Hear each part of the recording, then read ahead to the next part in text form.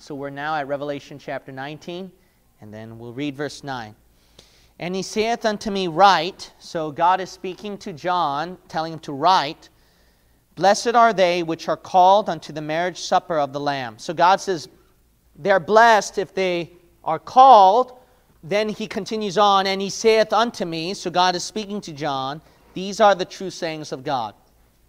So it's a true saying, it will not die out. And I've explained that last week. So now we're at verse 10. Verse 10 here's something interesting. It says, now remember, it's an angel speaking to John, right? Verse 10 says, And I fell at his feet to worship him. So John, he falls down to the ground prostrate on his feet and then tries to worship the angel. And he said unto me, See thou do it not. But the angel says, Don't do it. Don't worship me. Make sure you don't do it. I am thy fellow servant and of thy brethren. The angel says, I'm a fellow servant like you. I'm a servant like you. And of thy brethren, I am of your family. Ah, wait a minute. So here are some interesting things. So then John tries to fall down and then worship this angel here. But then the angel points out that, uh, see thou do it not. Why? The reason why is because he is considered to be, notice the wording, fellow servant and of thy brethren. Now, think about it. Throughout the Bible, angels are known as what? Sons of what? God. God. All right, John chapter 1, verse 12. You're considered to be a son of what? God. Ah, look at there. So then, in the book of Matthew, where Jesus talks about uh, when we are going up to heaven, we are not given to marriage or marrying, but we're as the what? Angels of God up in heaven. So you've got to understand then, when we are transformed up in heaven, it's literally the same thing. Sons of God. We are going to look like angels. But let me stretch it even further then, okay? But for some people who have a hard time believing, go to 1 John 3. 1 John 3. So we look like angels then, but here's the second one. You notice that the Lord Jesus Christ, he's known as the Son, singular, of God, correct? Whereas the angels and us were known as sons of God. You see this closeness? It's so close, we may not be the exact thing like Jesus, but it is so close that there's going to be somewhat of a, uh, it's such a strong similarity and representation that we might even look like Jesus actually. Because think about this John, he knows that Jesus should be the one that he should honor and worship. John is not stupid. John should realize that Jesus is the only one that we should honor and worship. However, when he falls down to the ground, the angel says, Don't, uh, what did he say? See thou do it not, because he's identifying himself. He's saying, I am your fellow servant. I am like you. I'm not the God to be worshiped. Wait a minute. Then that means, then, over here, that if the angel had to tell himself clearly where he's distinguishing himself, then that means over here, if the angel's trying to distinguish himself from that, then John must have mistaken him for something else. He mistaked him to be Jesus Christ. Wow. So the Lord Jesus Christ, who's sitting on his throne over here, we got to understand how did Jesus Christ appear as throughout the Old Testament? As the angel of the what? So similar with an angel, but it's not like an ordinary angel, however. Isn't that interesting? So it's not, uh, so Jesus is not an ordinary angel. He's known as the angel of the Lord. But the uh, wording is so, but he's so similar. See, Jesus appears as an angel, and then John mistake the angel to be like Jesus. It is not we got to understand this. That's why it's not far fetched. It's actually much more easier and it makes more sense. It makes more sense when we look through the exact wording sons of God, son of God. Different versions will be like the angels of heaven, etc., uh, etc., et that we will be like Jesus Christ when we get resurrected. Look at 1 John chapter 3. Amen. 1 John chapter 3. Look at verse 2. Verse 2. verse 2. But now are we the sons of God, and it doth not yet appear what we shall be. So the appearance is not shown yet what we're going to be like. But we know, but this is what we know what our appearance is like. When he shall appear, Jesus, when he appears, we shall be like him. We're going to be like Jesus. But this is not just, oh, it's going to be like Jesus or like as an angel. No, this goes even stronger. When we're like him, based on what reason? For what? We shall see him what? As he is. See, when Jesus appears, we're going to see him as he is over there. And then the verse says over here, we shall be like him. See, he says, we shall be like him. Why? Why are we going to look like Jesus? Based on we shall see him as he really is. How about that? It says for. See, it's explaining why.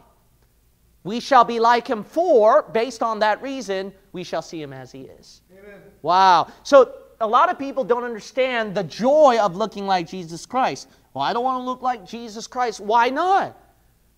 I mean, how, di- how can we say that? A lot of people, they look at celebrities and they say, oh, I want to look like him. I want to look like her. My goodness, why not the Lord Jesus Christ, King of kings and Lord of lords?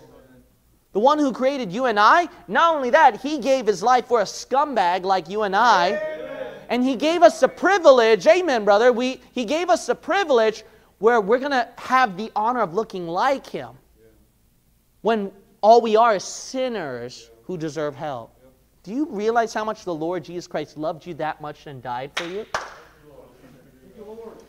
So, this kind of doctrine, even some deep ones, we got to understand they could be very, very important. And Bible believers should not take it for granted and go, ah, it's just weird and strange. And no, you shouldn't do that. I mean, you got to realize if there are some Bible believers, Bible believing preachers who taught that kind of stuff, to not just take it as a grain, to not just say, oh, okay, but no, you can't just take it like a grain of salt. There's, there's some reason behind it.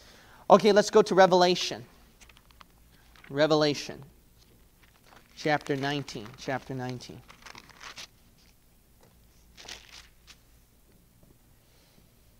Let's keep reading here. Uh, the next part of verse 10 that have so he's like the brethren that have the what testimony of jesus worship god so the angel he's saying i'm like you who have the testimony of jesus testimony see we're representing jesus See, when the Bible talks a lot about representing Jesus and being like Jesus, it's really much more close than you think. But anyway, so we all have the testimony of Jesus, so that's why worship what? Worship God. So because, man, the honor of being like Him, it makes us realize that we have to worship Him. He deserves more worship than, than anyone else. To be like Jesus Christ should make you fall on your knees and worship Him, actually.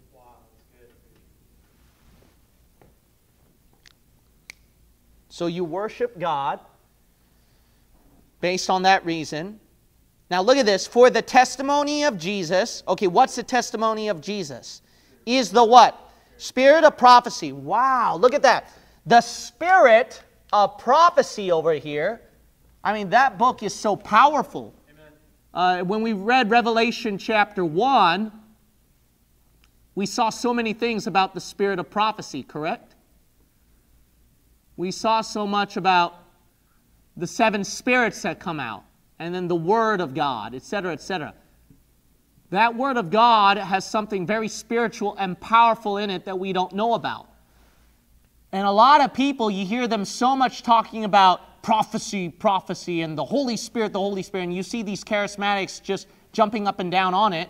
And then Perry Stone's trying to take advantage of that and other people, where they combine Holy Spirit with prophecy together. So you got speaking of tongues, a filling of the Spirit, visions, visions, connecting that with end times, prophecy, revelation unfolding, etc., etc. You know, a lot of people, a lot of these people don't understand this: is that when the Holy Spirit comes down, and gives you prophecy, it's based on what? The testimony of Jesus. Did you see that? the testimony of Jesus is the spirit of prophecy. A lot of people think that, well, uh, to be a prophet, you have to have a direct vision from the Holy Spirit, and then all of a sudden you see a vision and a dream, and then you have to predict them what's going to happen to them in the future. No, the Bible shows over here that to be a prophet is to have the testimony of Jesus.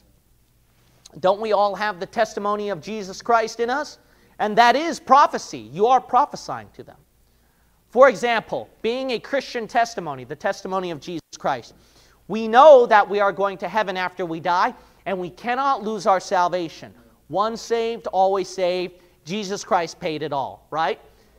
And then these people online get mad at you. How dare you? You're saying a license to sin that you're going to go to heaven no matter what. Yeah, because we have the testimony of Jesus. So we can prophesy to you that in the future, after I die, I'm going to heaven, not burning in hell. You, so eternal security is the spirit of prophecy.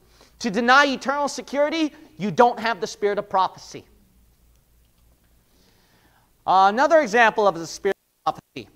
We mentioned that you know, the Bible says, we say to a lost person, if you reject the Lord Jesus Christ, you will burn in hell. Guarantee, guarantee 100%. You know what you are? You're prophesying to them every time you're street preaching. Every time you're witnessing to a person about this is where you will go after you die. You know what you're doing? You're prophesying to them through the Word of God. You know what you're doing when I read to you the Bible about Jesus Christ will rapture us to heaven before the tribulation. You know what I'm doing? I'm prophesying. Amen. To deny a pre tribulation rapture, where God will rapture his children before the tribulation, you don't have the spirit of prophecy. But I can prophesy that 100%. People online, you better be sure, Pastor Kim, because I'm scared and you'll be responsible for damning my soul. Hey, it's the Word of God, not me. That's the spirit of prophecy. And for those of you who reject the spirit of prophecy, see, you're rejecting what God's giving to you. When you have the word of God, you're automatically a prophet. Look at 2 Peter 1. And that's stronger. Listen up now. Any charismatic, Sid Roth and those people who get over a million subscribers, etc., and try to give this stuff about prophesying and vision, what will happen in the future, didn't you know that if you're just a simple layman armed with Scripture, you just have a King James Bible in your hand, you are prophesying more than all that Sid Roth and all the charismatic pastors, Perry Stone, and all these guys can conjure up together? Just being a Bible believer, if you study doctrine of God. Pastor, you're making a big deal about different doctrines. Yeah, because that's the spirit of prophecy over here. Amen. Oh, let's not emphasize doctrine. Let's emphasize more on visions. What are you then? That's not the right spirit of prophecy. Look at 2 Peter chapter 1. And then look at verse 18. And this voice which came from heaven we heard, right? A direct, God directly speaking to someone. See that? I hear I heard an audible voice and God was really speaking to me. Well, look who's more powerful than that. Verse 19 we have also a what? More sure word of prophecy. Oh, what's stronger than a direct communication with God? What is stronger than that? Amen. Whereunto ye do well that ye take heed as unto a light that shineth in a dark place until the day dawn and the day star arise in your hearts, knowing this first that no prophecy of what? Scripture. Right there. You are prophesying. A Bible believing Christian who believes in a pre tribulation rapture, doctrine, who believes in dispensational truth, doctrine, who is called a Bible thumper, doctrine, who is known as being divisive of the church over theological issues, doctrine. See that? Uh, Bible believing Christian who is into that Word of God he has more spirit of prophecy than a person who says, that I saw a direct vision of Jesus and he touched my cheek and then wiped the tear out of my eyelids and then uh, I seen Jesus. You got more of the spirit of prophecy than those people. So remember, this spirit of prophecy is given powerfully and manifested inside the church as a whole. If they were, are based what? On the Word of God. Churches don't have prophets now. They don't have the spirit of prophecy.